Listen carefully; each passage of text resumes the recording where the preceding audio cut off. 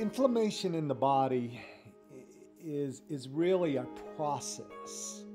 Inflammation, uh, you know, we, we typically think of inflammation as a bad thing, but really we wouldn't last a day without the immune response and, and really inflammation protecting our bodies against foreign invaders like bacteria and, and viruses. Because of our diet, because of our lifestyles, inflammation has increased dramatically. Now, let's talk about what inflammation is.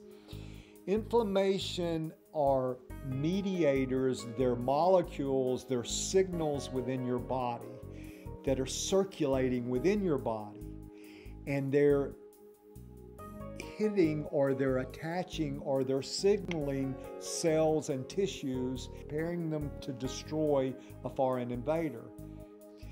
Well, if there's no invader and that process continues on and on and on without an invader there, you begin to destroy tissues or organ systems.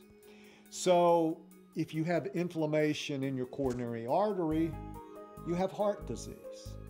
If you have it in your joints, you have arthritis.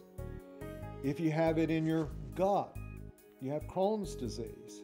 If you have it in your skin, you have psoriasis. If you have it in your brain, you have Alzheimer's disease. If you understand the riddle of inflammation, if you understand how to reduce, attenuate, lower inflammation, you can have dramatic effects in a whole range of lifestyles and diseases. I often talk about lifestyle an anti inflammatory lifestyle. In the face of the modern Western diet, in the face of our lifestyles, we must understand how to lower inflammation. And that requires a comprehensive, integrative approach to lower whole body, or as we call in, as a research scientist, systemic inflammation. And if we can lower systemic inflammation, then all the processes, all the diseases that it's affecting will be either prevented or made better.